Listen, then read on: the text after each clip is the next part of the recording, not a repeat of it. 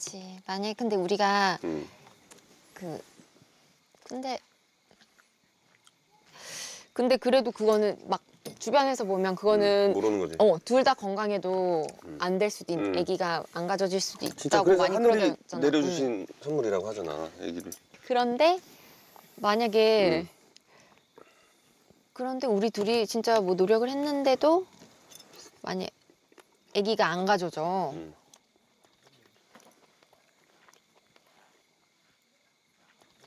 그럼 어떡해?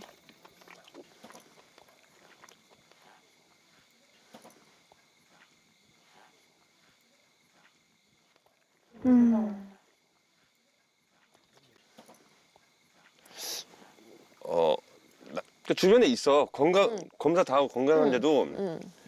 애기가 갖고 싶다고 바로 생기는 게 그러니까. 아니고 응. 근데 또 오래 시- 몇 년이 걸려서 응. 희한하게 응.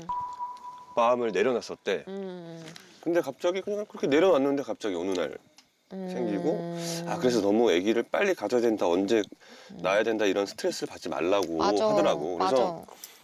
우리가 노력을 했는데 음, 안, 가, 안 가져진다. 그런다고 너무 거기에 막 스트레스를 받고 싶진 않아. 음. 자기 안 받았으면 좋겠고 나도 그렇고 그냥 그러면 나는 솔직히 자기랑 평생 얘기가 없어도 나는 지금처럼 평생 같이 살 수 있을 것 같아. 음. 그치. 근데 뭐 예전에도 우리 얘기했었지만 나는 음.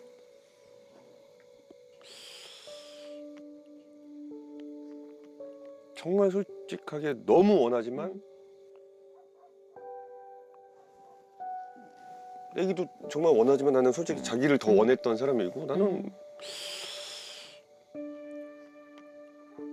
그치. 나도 근데 다행이다. 우리 나도 만약에 우리가 진짜 둘이 뭐 안 가져지게 되면 나도 그런 생각을 했거든. 마, 그래도 나는 오빠밖에 없고 오빠 사랑하니까 만약에 안 돼도 둘이 그냥 막 취미생활 하면서 그렇게 지내도 되게 행복하겠다라고 생각을 했어 나는. 근데 혹시나 오빠는 만약에 그러면 거 어떨까? 어, 실망이나 뭐 어, 뭐 음. 음, 혹시나 막 그런 생각도 들더라.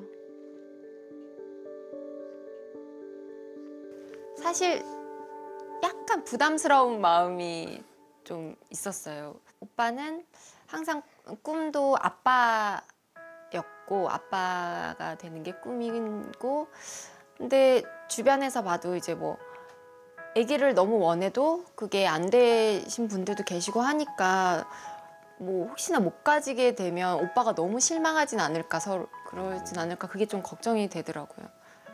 근데 저도 아이를 물론 갖고 싶고 이제 노력도 마- 할 거고 오빠가 몸도 따뜻하게 만들어주고 그러다 보면 좋은 소식이 있지 않을까요?